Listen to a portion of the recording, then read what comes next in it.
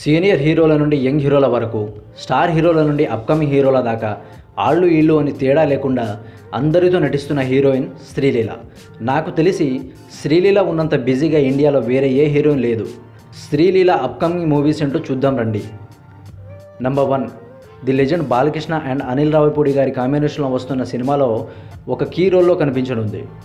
ఆ తర్వాత power star Pawan Kalyan Harishankar కాంబినేషన్లో వస్తున్న ఉస్తాద్ భగత్ సింగ్లో మరో మెయిన్ లీడ్లో కనిపించనుంది.